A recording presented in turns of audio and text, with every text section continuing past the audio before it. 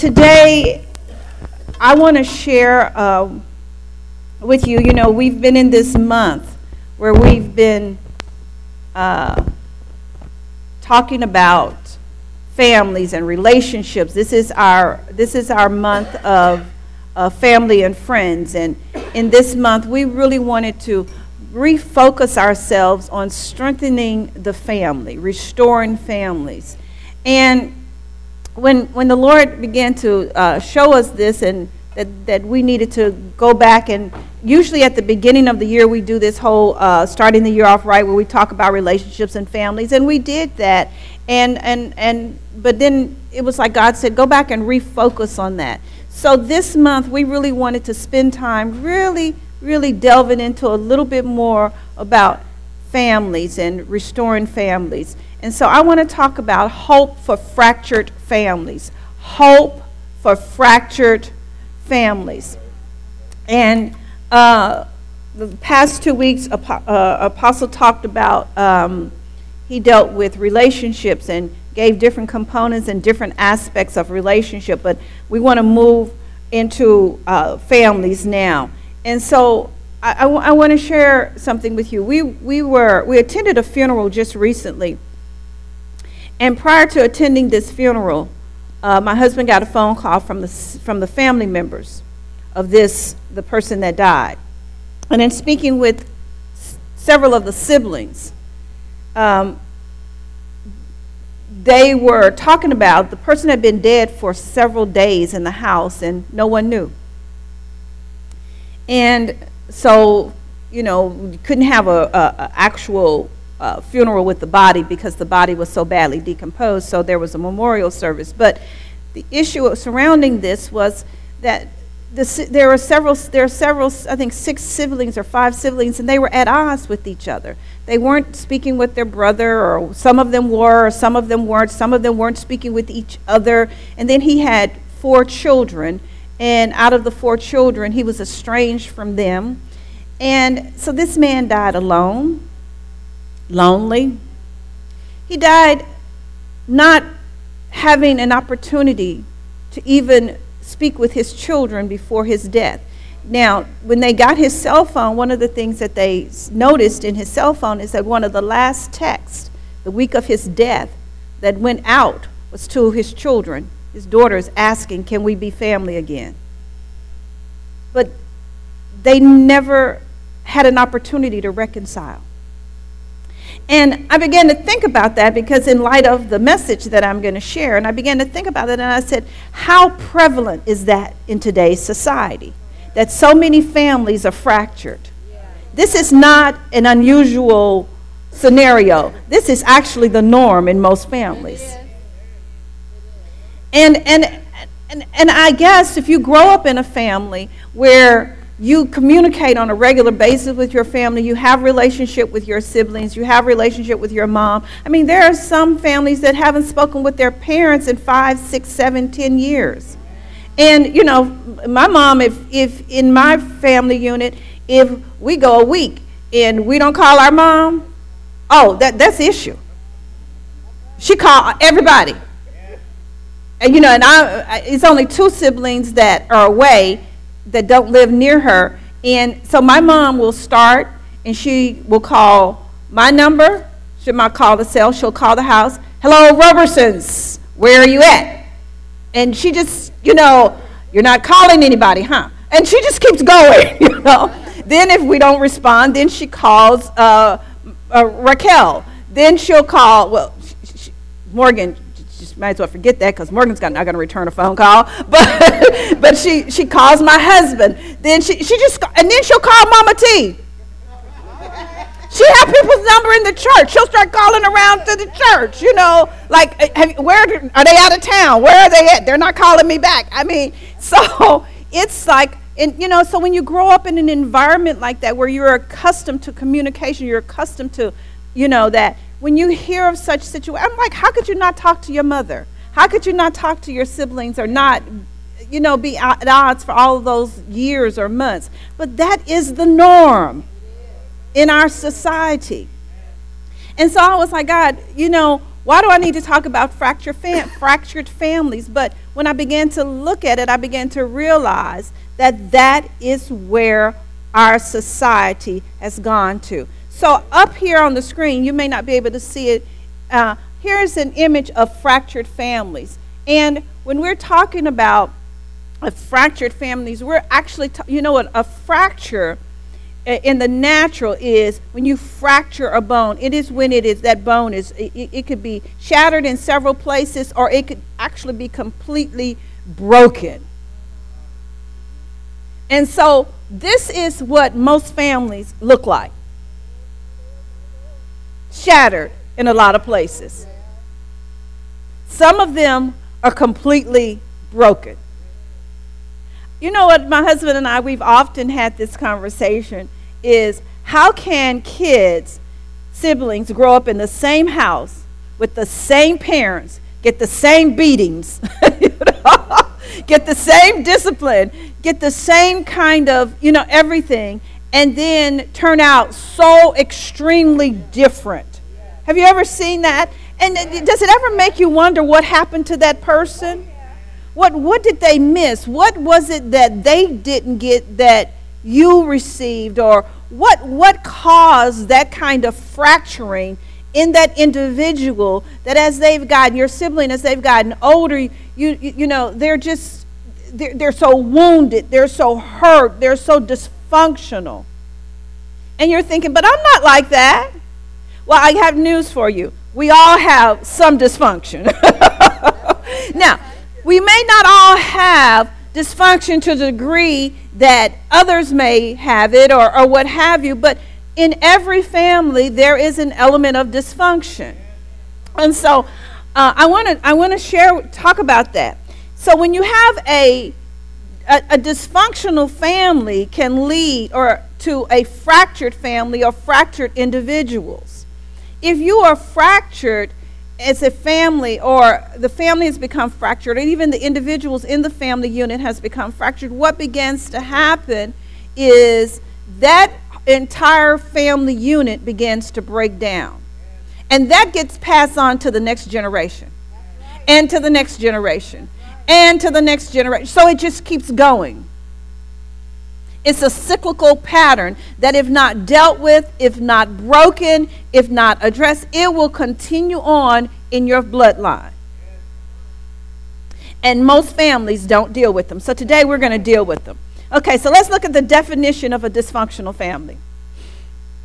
A dysfunctional family is described as one where the relationship among family members are not conducive to emotional and physical health. Now, I'm going to add spiritual health as well.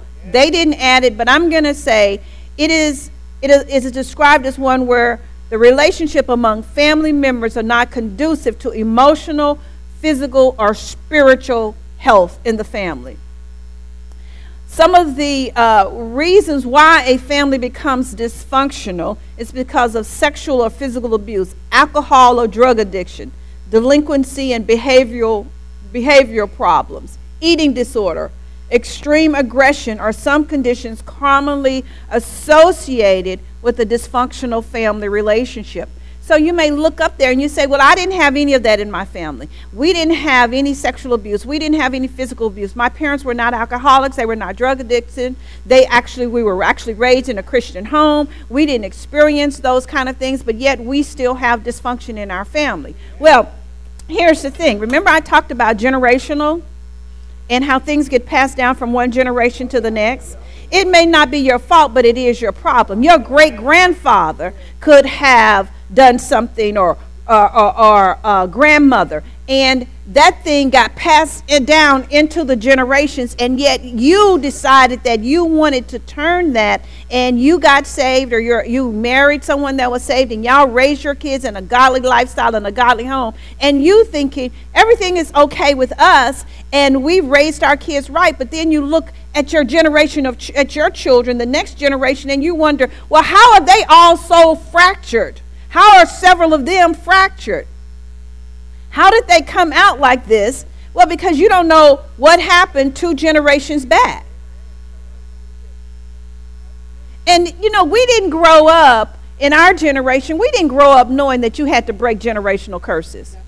We didn't know grow up knowing that things were transferred down to through the generations. We didn't know all of that stuff. We just thought you well, we didn't think anything because we didn't know anything, you know.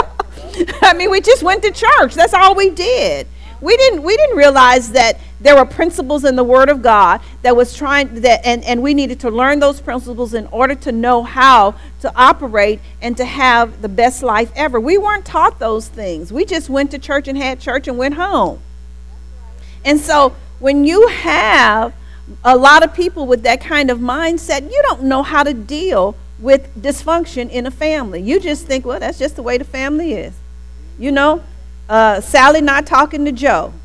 You know, they ain't talked in 10 years. You know, or this is going on in the family. So we're going to talk about a few of those things. But before we get there, um, to understand a dysfunctional family situation needs the right environment for it to continue to thrive. And the atmosphere is normally is conducive uh, for it to thrive in is an atmosphere of distrust, deceit, secrecy, and repressed emotions. So when you have those kind of uh, uh, that kind of an environment, an environment of distrust, of deceit, of secrecy, or repressed emotions, it is conducive to create or to uh, uh cause a family to a dysfunctional family to thrive. You wonder, how does a family stay dysfunctional? Well, when you look at these components, that's why they stay dysfunctional, because a lot of these things are never addressed. So I want to talk about, before we delve into um, what happens with a dysfunctional family, let's look at, or fractured family, let's look at the first dysfunctional family. And I find it very interesting because the first thing that God instituted was family. One of the first things. And isn't it amazing? The first thing that he instituted is the very thing that the enemy attacks the most. Why? Because family is near and dear to God's heart. Family. He created Adam and Eve, and he created the first family. And in doing so, he created them in Genesis chapter 1. Uh, to multiply, replenish the earth, and to create, make more of themselves. To, he gave them dominion. He gave, put everything in their hand that they could prosper and live a great life. Well, sin, because of Eve, we all know the story, sin entered in. And when sin entered in, what happens? It created dysfunction. It created dysfunction in the way they related to each other. Because here's the first thing that happened. When and when Adam took a bite, sin entered into the world. The very first thing, Adam didn't even know how to lie. He was not born to lie.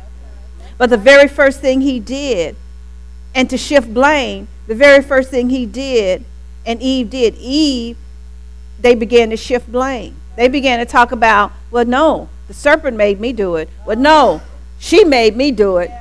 And so the whole thing of covering one another and being in unity and, and, and harmony was now broken. So here we see the first family becoming dysfunctional at the very moment that sin entered into the world. Now they, through their own ignorance, brought sin, allowed sin in, but they also, um, uh, when they allowed sin in, they began to operate from a sin nature. Isn't, don't you find it strange that a toddler is not even taught how to lie, but they can lie so good? Oh, yeah. I mean, you know, it's like, how does, how does a two year old know how to lie? Right, right, right, I mean, you know, we had a kid at the church one time, and it was so funny. We were having a staff meeting, and so his parents had brought him, and he had fallen asleep, and his sister was there, and so he'd fallen asleep, and they woke him up, and, and the first thing he woke up, he said, uh, he called out his sister's name. He said, she hit me. And, and we're all sitting here looking, and she was nowhere near him. And we're thinking, she's nowhere around. How did she hit you? Yeah, she hit me. And he's adamant that his sister had hit him. And she was no, the sister was nowhere around. No one had hit him. you know, and perhaps it was a dream, but, but, but I just watch. Kids know how to lie, and, but it's because of the sin nature. And so we see some of the first dysfunctional families was, was Adam and Eve. And then we see that they had Cain and Abel. And look out, because of jealousy, Cain rose up and slew his brother Abel. Dysfunction. Fractured. And as a, as a result, Cain, Cain was banished and sent away by God. Here's the first picture of a family that is separated and having no contact. We never read in Scripture where Cain had any more contact with his parents. We never read in Scripture. So dysfunction just didn't show up in 2016. dysfunction has been in the earth realm since the very beginning. Now, we have a choice. We can continue to uh, coddle the dysfunction and allow it to exist, or we can say, you know what, we want healthy families. Yes, yes. And we're going to take the steps necessary to uh, produce a healthy family and to make our families healthy. Here we see Sarah, uh, uh another dysfunctional family. Sarah sent in her handmaiden to Abraham to have a son, to bear herself uh, a child, because God had given a promise to them that they would bear a seed. And that hadn't happened. And Sarah was up in age, and Abraham was up in age. And here Sarah sends in um, uh, her handmaiden. Now, you know, I find this story to me really, really interesting because there's so much dysfunction in this family. You know, she sends in the handmaiden to have a son, have a child. The woman does what she wants her to do. Then has the child, then jealous, then she's jealous because the woman had the child. Then she want to banish the woman and the child for having the child. And and and then and, and so so you got all of this dysfunction going on in this family. But here's the thing, have you noticed? Now, I don't want you men to take this the wrong way. But, uh, but I want the women to hear me. Women, you are in, we are influencers. And we can use our influence for good or for evil. And in most dysfunctional families, in most scenarios, even when you go back and look at the Bible, the epic center of it is a woman.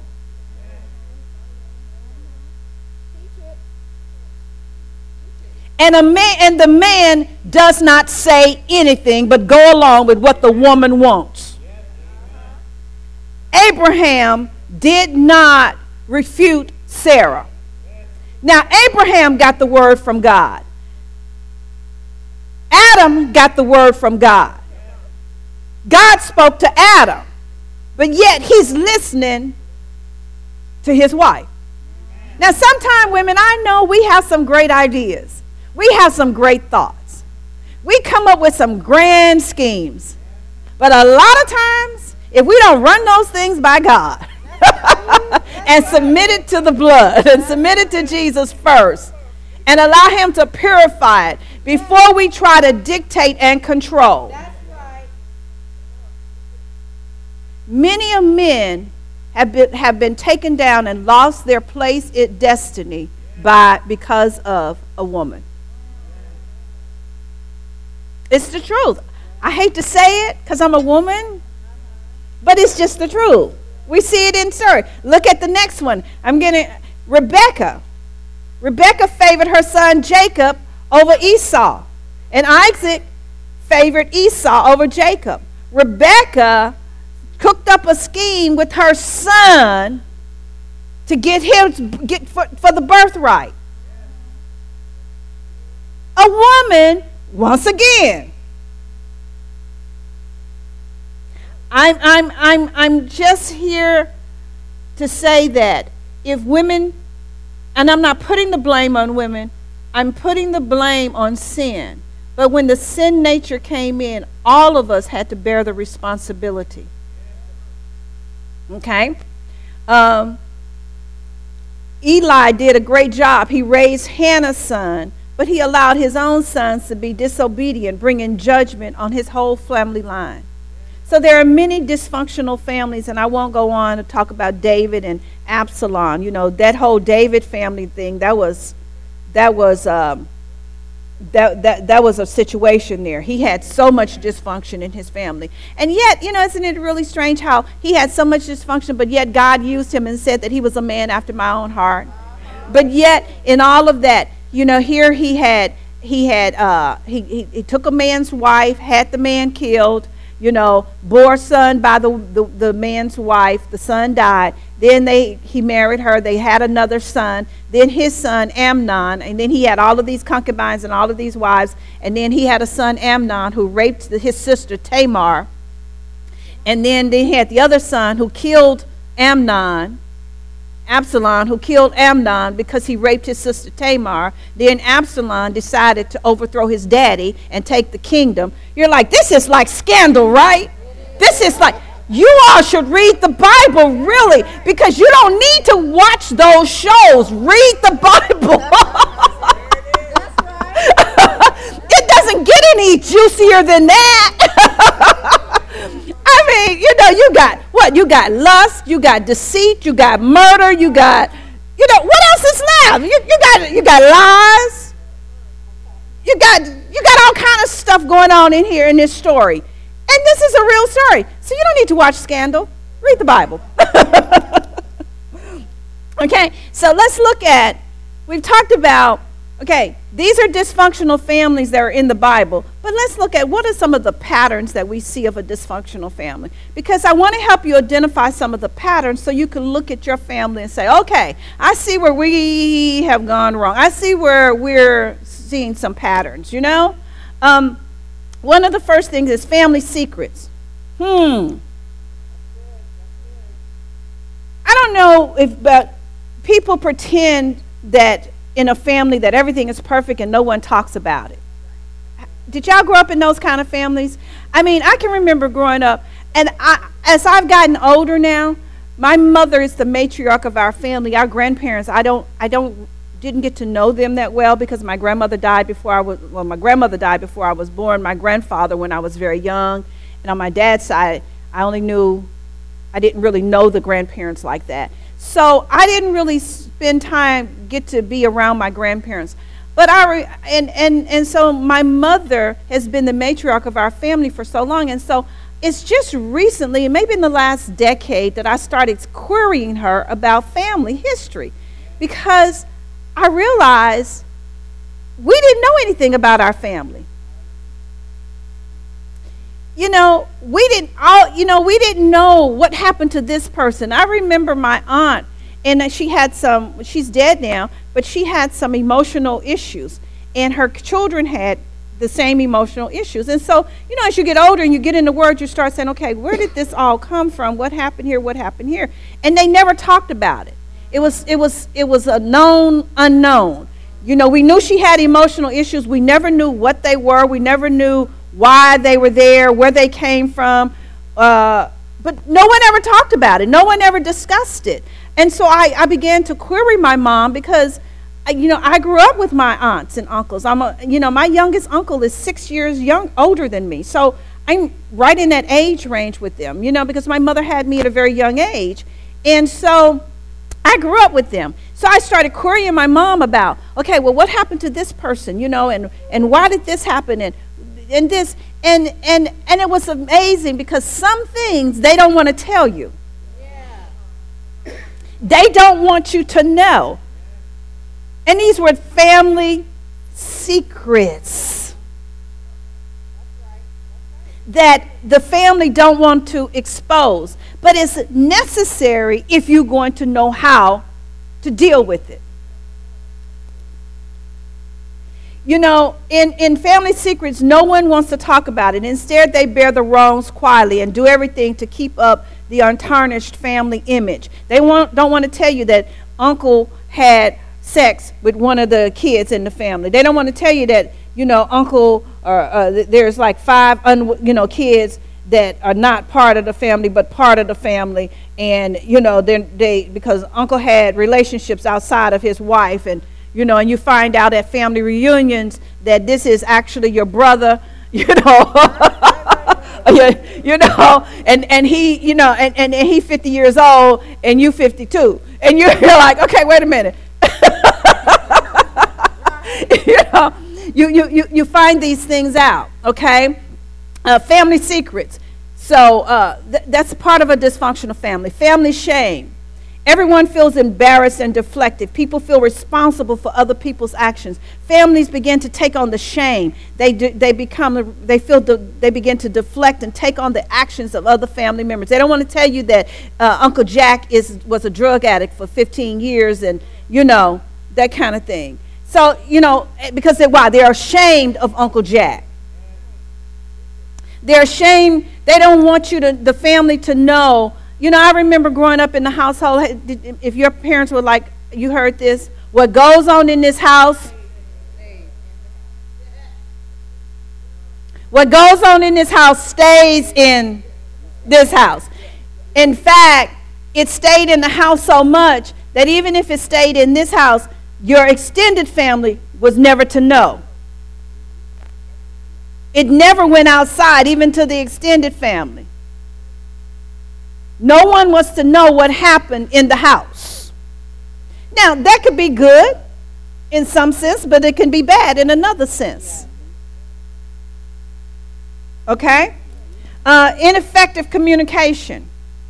Usually, in a dysfunctional family, there's ineffective or no communication. Communication is indirect, is blaming, is abusive, is angry, is reactive, is confrontational or avoidant, and passive regardless of the pa- pattern, people are oftentimes unable to resolve conflict in a dysfunctional family. They don't know how to sit down and have conflict resolution. They don't know how to sit down and resolve conflicts. So you constantly have a dysfunctional family that, that never gets beyond their dysfunction. Because if you don't learn how to communicate with, you know, if you and your sister had a conflict at 15, I mean, come on, get how long you going to carry that? You know, you're 45.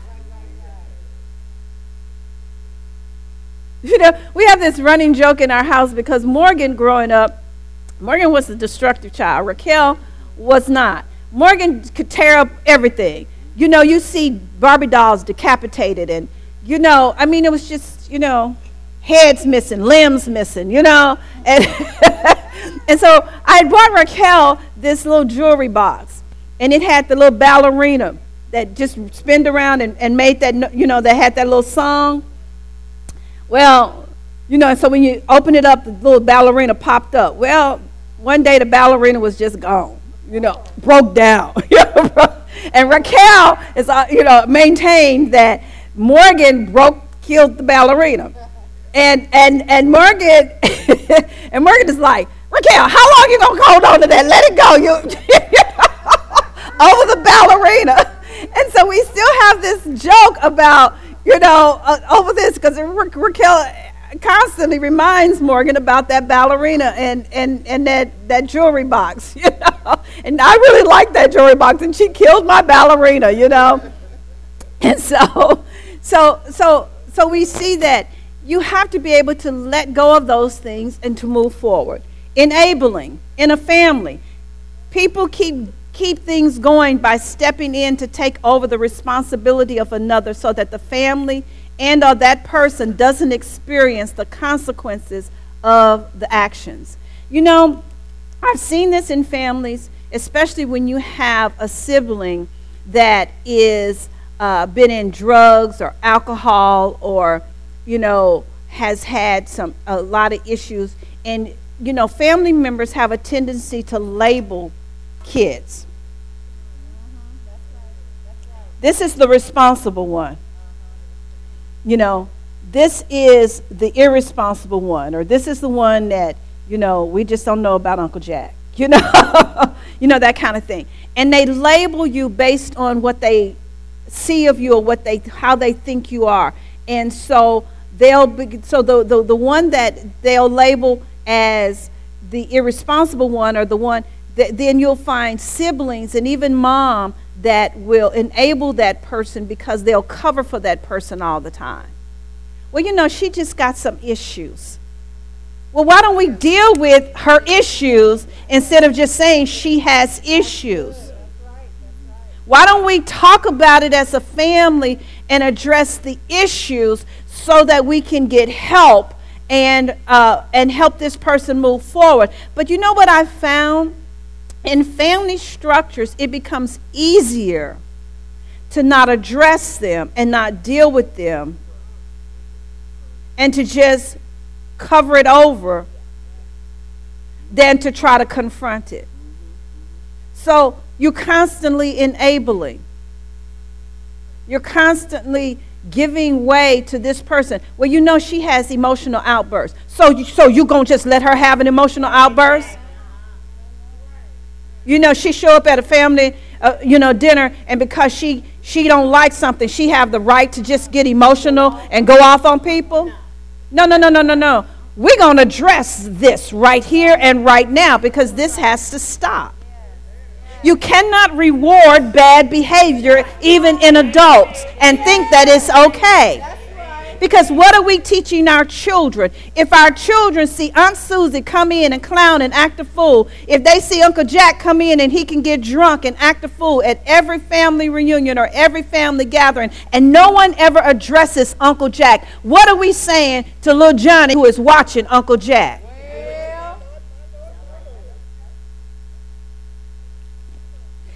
So the next thing is blame. People avoid responsibility for their actions by shifting responsibilities onto others. There is an inability to look at oneself and admit that you're wrong. So a dysfunctional family, there's always blame shifting. Well, if daddy hadn't left, well, okay, daddy's been gone since you were, what, five? You're 60 now. And, and daddy's been gone since you was five. At what point are you going to realize daddy ain't coming back? Daddy probably dead. You know, you can't fix it. You can't fix daddy. That was between daddy and mama. And, and whatever happened, happened. So now, how do we, how do we, well, if mama hadn't ran daddy off, well, you don't know what happened in the bedroom between mama and daddy.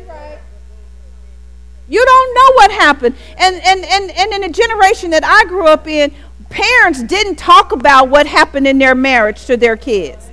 This generation, the kids know all your business. They know everything that's going on. You know, they know your business. They know uh, uh, everything. Well, you know, your daddy was with so and so last night. Well, why does a five year old need to know that? You know? Oh, I'm, I'm, I'm going somewhere I shouldn't be. Let me, let me not, because see? and, then, uh, and wait a minute, and the next one would be strong emotions, and that's.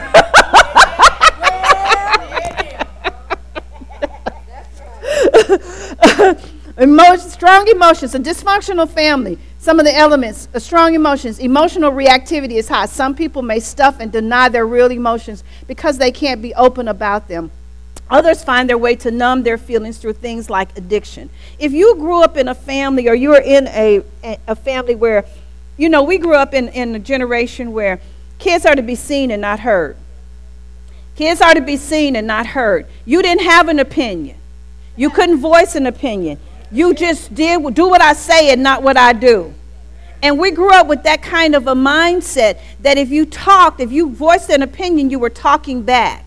You couldn't have a strong emotion. You couldn't say, I don't like something. What do you mean you don't like it? You don't have a right to not like something. You got food on the table. You got a place to live. You got, you know, and, and they would they would start going down the line. And so you didn't have, it was like you you had to repress your emotions in order to be a part of that, that family structure because you were not allowed to feel. You were not allowed to think. And so I can remember, you know, my, my kids growing up, they, I allowed them expression to a certain extent. Freedom of expression.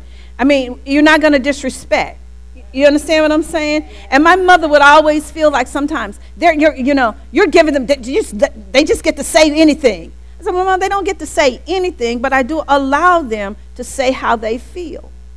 I do allow them to talk about it, to, to, to, to express how they feel. Now, they're not going to disrespect me, they're not going to raise their voice to me, you know, but I am going to allow them to say uh, what they feel. If you don't allow children the freedom of expression, if you don't allow them the ability to feel and to think, and, and to express those feelings this your, your the home environment should be a safe haven. It should be a safe place for children to express how they feel right or wrong good or bad indifferent. They should be able to say i don't like this. This is how i feel. If they're having feelings of and it, then they and, and they should feel as if they can come and say it and not be shut down and, and made to feel as if it's something wrong with you for having these feelings. You know that's why children even uh, if they're having at a young age and they're having uh, sexual identity issues and they're afraid to discuss it there needs to be an environment created where those issues can be addressed yes. Yes. why do you feel that you are a girl but you more identify more with being a boy why do you feel what what is it that you know when, when do we as as as families as parents take the, the covers off and address real issues in our home. What we have done is we have abdicated our responsibility of that to the church, to the schools, to their friends, to television. We want the television to educate them. We want the internet to educate them. Oh, it educates them all right, but it educates them in the wrong way. And so you don't want to talk about it, and you're thinking, well, at uh, what point should we be able to talk about it? At the point that they ask? Yeah. If they're six years old and asking, that's the point that we discuss it. You can't wait now until they're 13 because 13 is too late. Yes, right. I mean, there were questions that I didn't even ask until I was like 15 or 16. This generation asked at five. And I'm like, how do you know that? You should know that now. We shouldn't be having these discussions now. But this is the society in which we live because everything is exposed now. So we need to have these conversations. The church needs to be a re- reinforcement for the conversation, but it does not need to start with the church. The school needs to be a reinforcement for the conversation, but it does not start with the school. Television should, well, Shouldn't be a reinforcement. But anyway, uh, it should start in the home. So, at what point are we having family discussions? You know, we used to, with our children, with the girls, and even when the boys, now they were older, but, uh, and so they were out of the house, but even if when they came back and stayed, at the beginning of every year, we sat down and we say, okay, we're having, after we done had uh, prayer and we didn't made it to the first of the year. We sat down and we said, everybody bring pens and papers and come. We're going to talk about goals we're going to talk about our family vision for this year. We're going to talk about our goals for this year. What are your goals? What is the first? My husband would outline this is the family goals. This is the family vision. This is where we're headed. This is what we're believing God for. Then, what are your goals? What are your personal goals? As what do you want to accomplish this year? What? Okay, and then we would pray about it. And then we would all come together and we would pray about it. And then we would come back throughout the year and do checkups to see are you on track with your goals? Are you on track with your vision? With where you want to go? And we would do that throughout uh, as the girls were growing up. And uh, now, with the grandkids being in the house now, it's a little bit different. We, we, we bring them together, and it's so funny because we'll say, okay, we're believing God, we're praying about this, and we want this to happen. And our kids, it was funny, it's different generation. We would do that with them. We'd have to chase them down and ask them what's going on, you know, do checkups. The, the grandkids, we, we, we have prayer. Okay, so, have you heard anything yet? Okay, we was praying about this, and um, has, has it happened yet? Have you got the phone call? Every day. And I'm like, that's what happens when you tell these kids stuff. they, they harass you. But it's a different generation. They are a totally different generation than, than my kids' generation, and totally different than when I would have never gone to my mother and said, Are we praying about this? You know, I would have never. I didn't want to pray about it. I, you know, you know, but it was, you, you understand? we weren't privy back then to what these kids are privy to and what they know. I mean, even in preparing this lesson last night, Madison came in and I'm doing the PowerPoint. And so she wants to tell me how I need to fix my PowerPoint. Then, you know, and because I'm talking about a fractured family, okay, well, I think that you should put some stuff in the bag and you should pull it out of the bag of how a family is fractured. Like health, like she got my blood pressure monitor. Okay, now health, that helps fracture a family. When there's bad health in the family. Money, I'm going to get some. So she went in my purse and got some. I said, no, lack of money. Okay, I'm going to get some coins then. And she put that in the bag. And she had this bag filled with all these stuff. I said, Madison, I am not taking out this bag with all of these things that church because I didn't plan on doing that demonstration at that time, you know. So she's saying, but you know, I want to. I mean, I like this subject because I think that we can help families, and it's a good subject. And she's going on. I never would have thought to say stuff like that in my age. I mean, when that was their age, I never would have thought that. Why? Because this is a sight and sound generation. This is a generation, an information age. They know a whole lot more than what we knew. Okay, abandonment. Abandonment causes a lot of dysfunction, whether emotional or physical abandonment. Denial.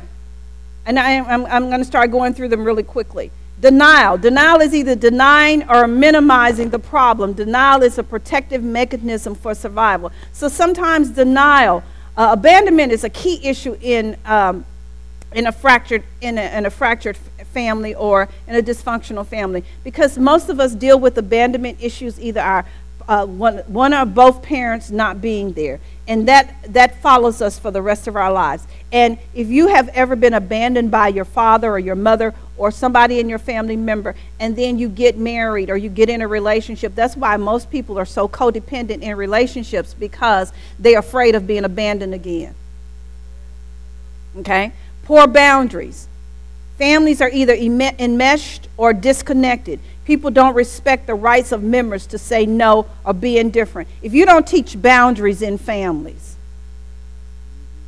you have to teach boundaries. You have to allow them to be able to express and to say, no, I don't want to do this, or no, uh, uh, say yes, or to say no. And, and if you don't establish boundaries, or, or, or, or, there are no boundaries, you will constantly have dysfunction.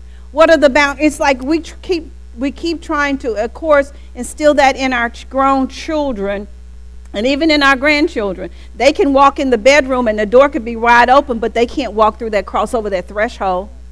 They've got to stand there and knock on the door. Why? Because we're helping to establish boundaries. And then we've got to acknowledge them. And, and, and Kennedy will say, Mimi, you see me. I'll say, Who is it? Who is it? And she's standing there looking at me like, Mimi, Mimi, you see me. You know, who is it? It's Kennedy. Can I come in? Yes, now you can enter. And and and they know that he uh, Pastor is a stickler for you coming in our invading our, our personal space without knocking, without being acknowledged. What are we teaching? We're teaching them to establish boundaries. We're teaching them that it's not okay to protrude family boundaries. It's like my mother, I go to her house, but I don't walk in her house and go in her refrigerator. I know I live there. I haven't lived there in a lot of years. So I don't go in there and just start taking stuff out of her fridge. I don't go through her drawers and just say, oh, I like this and I'm going to put it on first of all, you do that in my mother's house, you liable to get, I don't care how old you are, you, you might get. we so boundaries are established. Why do why is boundaries necessary? Because boundaries establish respect. And if you don't teach respect at an early age, that's why you have people that grow up and they're adults and they don't know how to respect another adult. They don't know how to respect the boundaries. Why? Because the boundaries were never set for them as a, ch- as a child or growing up. They think it's okay to just walk in your house and open up your refrigerator. Just walk in your house and go through your, you know, go through your pantry and start and, and open up a bag of chips. You better not just open up my, go through my pantry and open up something. You better ask. Just respect the boundaries. And then you could see if those boundaries are not taught in, in, in as an, a child and then growing up as an adult, it, it protrudes even into the church, in your social life. It protrudes everywhere. You wonder why people can come in in church and have no boundaries.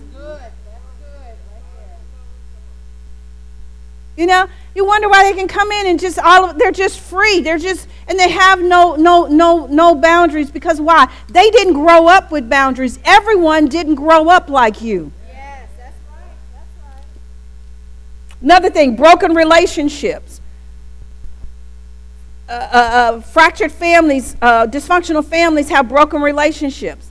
Uh, one of the common ways of dealing with conflicts is they cut off a family member. They just stop talking to them.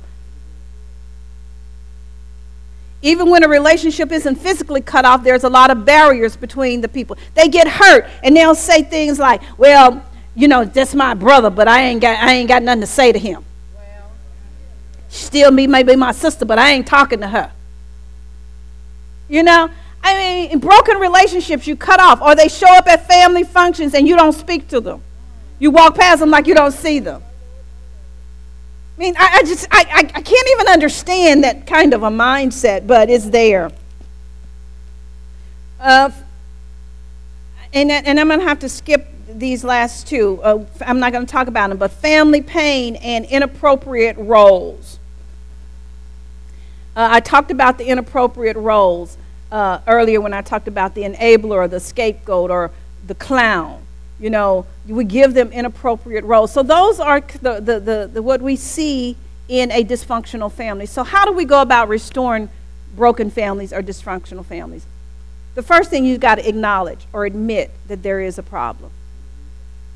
You can't confront what you won't acknowledge. You cannot address, you cannot confront an issue if you won't admit that there is a problem. If mama won't admit that she favor one child over another, ooh, if mother won't admit that that's her favorite son,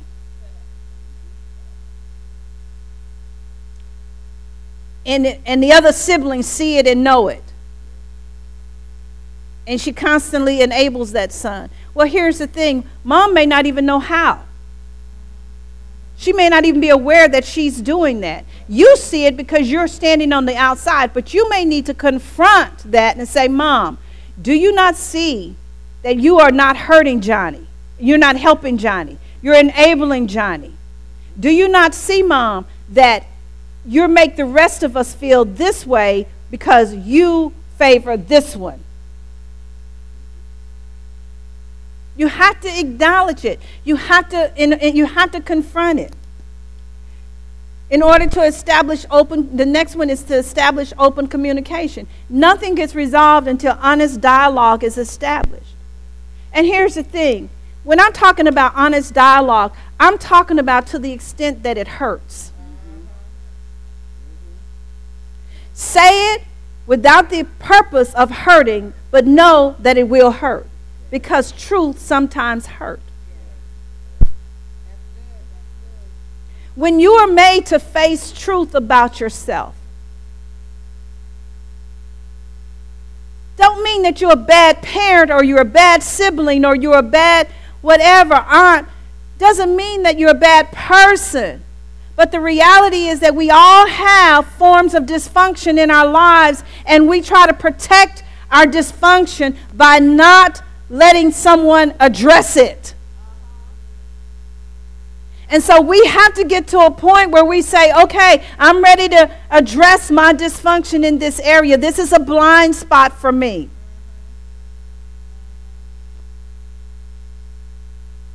So you have to uh, be in a place where you established open communication. It, if you're unable to communicate, Apostle said this on last week, write a letter to the person. Have a mediator present. And or I came up with this idea. Create a CD. Put your thoughts and your feelings in a CD or MP3 and send it to that person. If you are at odds with your siblings or your sister or your brother and you've been that way for so long so many years and it is difficult to face them and to have an open dialogue because it'll end up erupting put it on a cd put it on a they don't do cassette tapes anymore. Put it on an mp3 and then mail it to them. Send it to them. Let them hear your heart. So question then is if i send it and they don't respond you're, you're not responsible for fixing the dysfunction of someone else. You're only responsible for fixing your dysfunction. So if there's an area in you that is fractured, what you're doing is you're getting you dealt with. You're getting you healed. And so you then release whatever it is, it is in you, and it's no longer on you. And if they choose to die, and not forgive you, that's not on you, that's on them. So you need to know that. Number three, be honest and truthful. Speak the truth in love. Ephesians 4 and 15 says, But speaking the truth in love, that you may grow up in him in all things, which is the head, even Christ. You got to be truthful. You got to speak the truth, but do it in love. Don't speak the truth where you're trying to hurt someone. Well, you know, you ain't, your daddy wasn't no good and you ain't no good. Well, that ain't speaking the truth in love. That, that, you know? But you want to say to them, hey, you know, I really struggled in my relationship with your dad. And, and he did some things that hurt me. I mean, Morgan and I had a talk just last night about her father.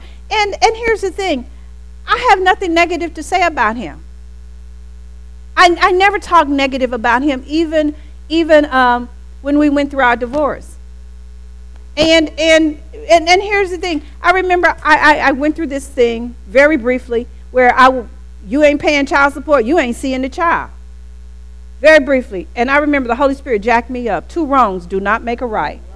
That's what he told me. He said, You don't have a right to withhold that child from him. That's his child as well. Okay, God, I got the message. And I made the children available to him. Well, guess what? After a while, he no longer was interested in seeing the kids. He was only fighting because I was fighting. Energy. And, and, and, and, when I finally just made a decision, you know, and, and, I, and I gave that thing, I, and then I got to the point where I had to beg him to come. You know? Can you just at least come to the graduation? Can you at least pick them up and talk to them? You know, just anything. So speak the truth in love.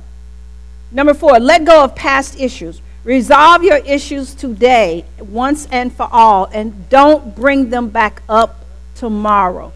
Don't resolve an issue with your sister or your siblings today, and then next 10 years from now, you're still talking about it to the family. With, like Raquel with the ballerina. Let the past issues go. Philippians 3, 3, Philippians 3 and 13 says, Brethren, I count not myself to have apprehended, but what's this one thing that I do? Forgetting those things which are behind and reaching unto those things which are before. I press toward the mark of the prize of the high calling of God in Christ Jesus. So let go of the past, okay? The last two attack the problem and not the person. Take care to speak kindly to one another. Avoid absolutes. My husband is a stickler for this when we have conversations. Just not just me and he, he and I, but with our grandchildren, with anybody. Don't say things like never. Don't say always. You always do this. You don't ever do this. you know? Because you know we are we are so we can be so emphatic about, well, you always do this. And he said, always? And I was like, yeah, always. you know, so so so don't say things like attack the problem and not the person. When you're doing communication, you don't want to spend so much time attacking the person and then the person becomes defensive and then they shut down. What's the problem? What issue are we dealing with? And don't make it that it is always an issue. You always, you don't ever take out the trash. Well, you just took it out two weeks ago. Okay? And the scripture for that is Ephesians 4 and 29. Let no corrupt communication proceed out of your mouth, but that which is good to use edify, that it may minister grace to the hearers. We want to edify. Can I tell you all the best way to get someone to listen to you is to start out by giving them the positives about, you know what? You really are a wonderful person. You're a wonderful dad. I mean, I just see so many great qualities in you. And I just thank you for how you have just been there for me and for the kids, and you've just been a provider. But you know, we're going through some challenging times right now and some things, and I really need to address some things that I'm not comfortable with. You see how I just opened him up